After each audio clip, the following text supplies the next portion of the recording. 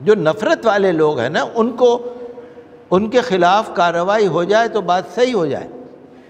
मैं पढ़ रहा था, कल ही अखबार के अंदर पढ़ रहा था, न्यूज़ इंडिया 18 न्यूज़ 18 इंडिया, एक चैनल है।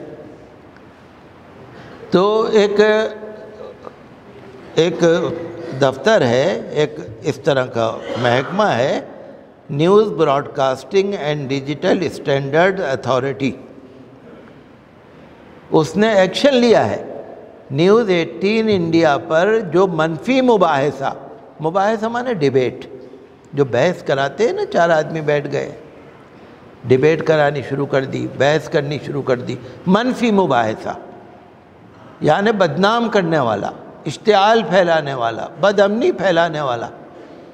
तो मैं पढ़ रहा था कि news broadcasting and digital standard authority ने न्यूज़ 18 इंडिया पर जुर्माना भी लगाया है और कर्नाटक में जब हिजाब पर पाबंदी लगी थी तो इन्होंने एक डिबेट कराई थी और जिसमें मुसलमान लेडीज़ को कहा था, हिजाबी गैंग, हिजाब वाली गजवा गैंग। उसके ऊपर कार्रवाई हुई और इन्होंने उन पर कार्रवाई की, जुर्माना भी लगाया और कहा कि उस डिबेट को हटाओ, वेबसाइट से हटाओ। सब जगह से हटाओ। उस शो को मुतनाज़ शो को ख़त्म करो। हम तो चाहते हैं कि भारत के अंदर जहाँ भी डिबेट हो, आप देखते हैं ना, रोज़ ही चैनल पे बैठ जाते हैं दो चार आदमी।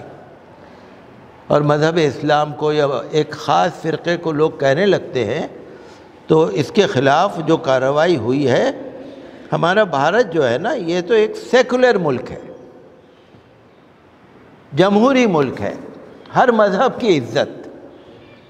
देश का कोई मज़हब नहीं है, हर मज़हब की इज़्ज़त जिसको अपने मज़हब से प्यार है, अपने मज़हब की अच्छी तालीमत को सामने लाओ ना। भाई, अगर आप कहते हैं हमारा मज़हब अच्छा है तो उसकी तालीमत को सामने लाओ ना। इसके दो तरीक़े होते हैं। किसी इंसान ने एक लकीर खींची, किसी इंसान ने एक छोटी लकीर खींची। और लकीर खींच के ये कहा कि इस लकीर को छोटा करो। न इधर से काटो, न इधर से काटो, इस लकीर को छोटा करो। सबने कहा, ये तो छोटी हो ही नहीं सकती। भैया तो इधर से कम करनी पड़ेगी या इधर से कम करनी पड़ेगी? लकीर तो छोटी रहेगी। एक ने कहा कि नहीं, छोटी हो जाएगी। उस लकीर के सामने एक बड़ी लकीर खींच दी। वो खुद छोटी हो गई। तो हम तो ये कहते हैं कि अगर किसी के मज़हब में या किसी के अंदर अच्छाई है, उस अच्छाई को आगे ले आओ, दूसरा खुद ही छोटा हो जाएगा। आज हमारे मज़हब में इसकी ज़रूरत नहीं है, हम हर मज़हब का एहतराम करते हैं। आपने देखा ना जो नफ़रत अंगेज़ बयान आते हैं, दिल्ली में भी हुआ था, दिलशाद गार्डन में, उत्तराखंड में भी हुआ था, उत्तर प्रदेश में हुआ था, इलाहाबाद में, प्रयागराज में।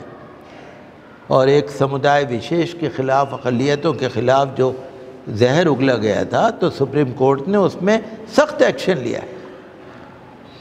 सुप्रीम कोर्ट बहुत नाराज़ है। सुप्रीम कोर्ट ने रिपोर्ट तलब की है। दिल्ली से भी, उत्तराखंड से भी, उत्तर प्रदेश से भी तलब करके, और ये बताओ कि कौन कौन लोग हैं, पुलिस से कहा है, इनके ख़िलाफ़ कार्रवाई होनी चाहिए। तो देश जब ही आगे बढ़ेगा आप, मैं तो आपको इसलिए बताता हूँ थोड़ी बहुत बातें। मुझे सियासत से मतलब नहीं। मुझे हुकूमत से कोई मुखालफत नहीं है। मैं किसी का मुखालिफ नहीं हूँ, दुश्मन नहीं हूँ, मैं किसी सियासी पार्टी का नहीं हूँ।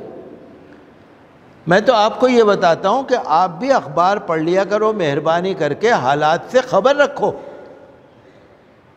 मैं तो आपको एक आपका जायका बदलने के लिए, टेस्ट बदलने के लिए थोड़ी सी बात बताता हूँ कि भाई अखबार भी पढ़ लो, हालात हाजिरा भी देख लो।